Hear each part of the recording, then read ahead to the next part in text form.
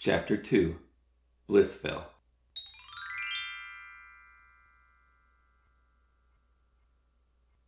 Blissville? You shouldn't wander off. What's the worst that could happen? Strange. At least now your body matches your mental age.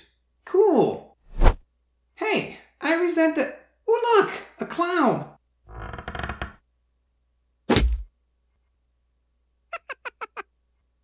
Welcome to Blissville, where no one is ever sad. Never? Ow! What's wrong? Oh! Are you okay? Oh! Stop it! I didn't mean to snap at you, it's just we don't ask questions here. But then how do you. Murderer.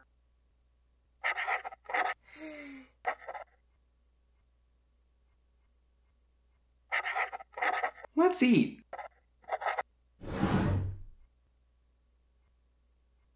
The food looks normal. Scrambled eggs, please. Ho ho ho! Santa! Well, hello there. Would you like a book? It's a bit expensive, isn't it? You can't put a price on making everyday Christmas. I'll even autograph it for you. Sold! Phil acquires item Santa's book. What have you got? You're an idiot. Why? This might help us find the key to life.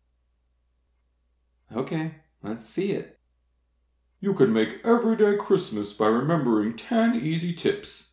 1. You can never have too many toys. If you're feeling sad, buy some more.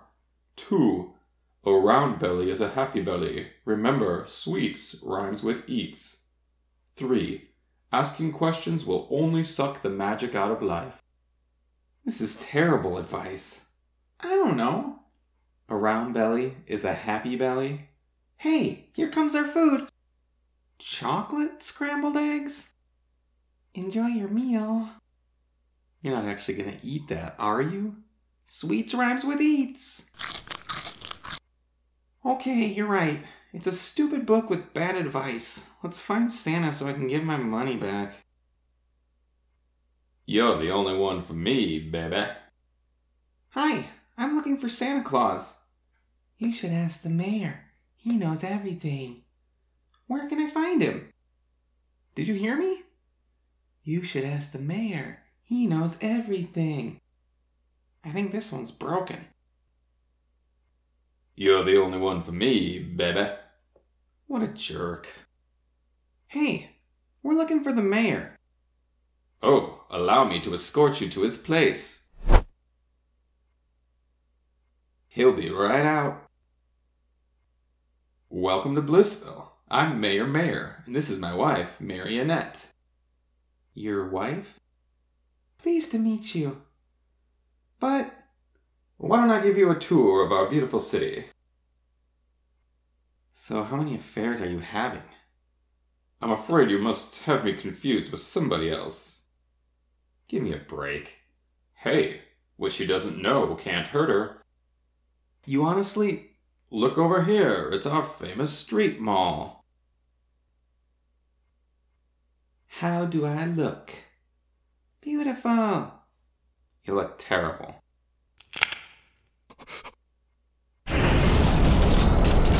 Here is the local fortune teller. Phony. Hey, there's Santa. I want my money back for that book. A deal's a deal, kid. I'm pretty sure that contracts with fictional characters aren't enforceable. Fictional? You mean I'm not real? They killed Santa! Now, now. Look. See everyone? Santa's right there. Santa's pretty tired, but don't worry, he'll be back soon. Oh, yeah, Santa will be back. I hope he brings presents. Look, you little brats, I welcome you into my town and you cause me trouble? You weren't even happy at the mall. Or the fortune tellers. It's not my fault that none of it was real. Wait a second. Is any of this real?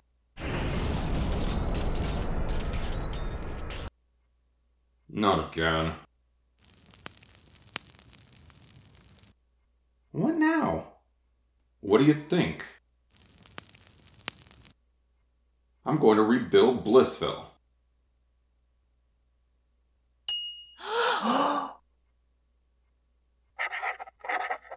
Let me try one. It's. It's Link. Ah, well done, my lad. Somebody help us.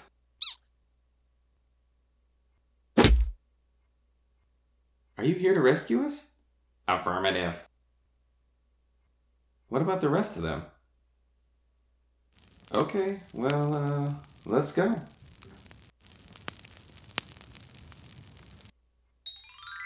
This is the question Phil and Sophie just encountered. So, what do you think? Well, does believing in Santa really make someone ignorant?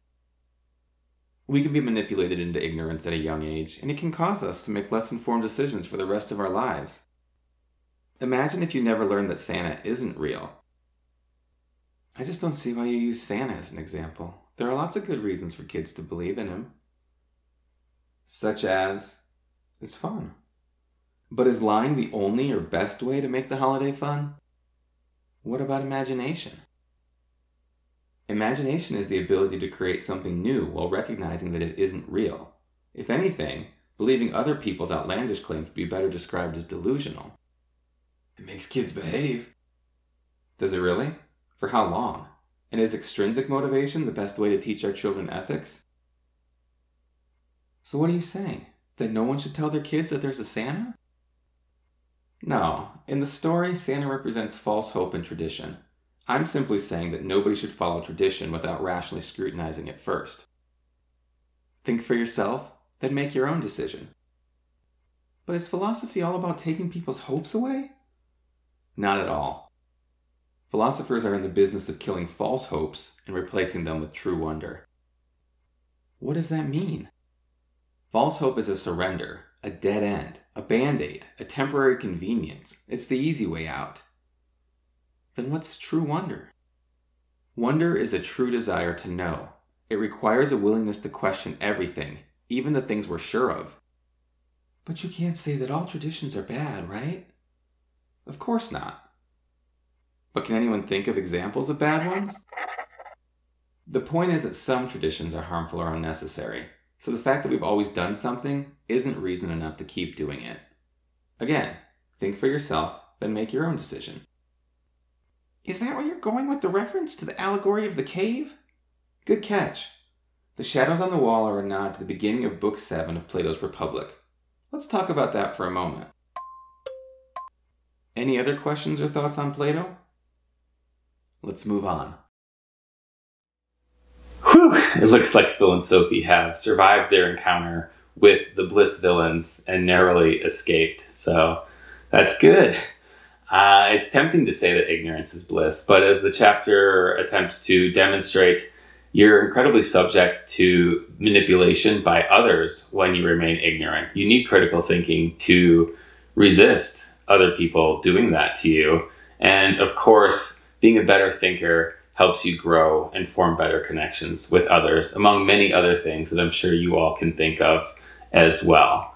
So that's not to say that we should all be Sophie and rain on everybody's parade. There may be a time and a place to share the truth. There may be a way to do it that is true, but also honest and kind. And there may be a time and a place where it just doesn't make any sense at all. For example, if beauty really is in the eye of the beholder, if it's subjective, as many people think, then you know Sophie coming down on somebody uh, for the way they look is just incredibly mean and also not spreading truth because it's a subjective truth. So the chapter is not saying everybody should be Sophie necessarily, uh, or everybody should be Phil, or everybody should be Uck. It's never saying any of those things, but uh, it is intended to get you thinking. So hopefully it did just that. We start getting into some of the hardcore logic here in the next chapter, so let's get to it.